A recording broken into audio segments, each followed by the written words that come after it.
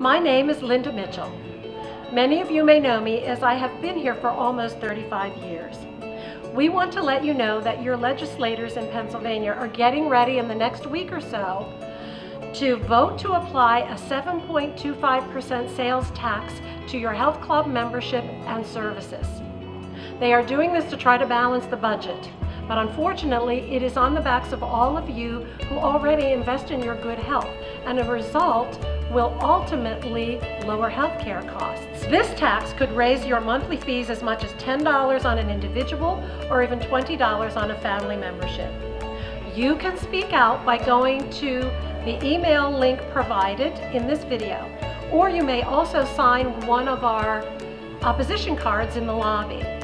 Your legislators need to hear from you and they need to hear from you now. We love our members and don't want anything to stand in the way of your health and your well-being.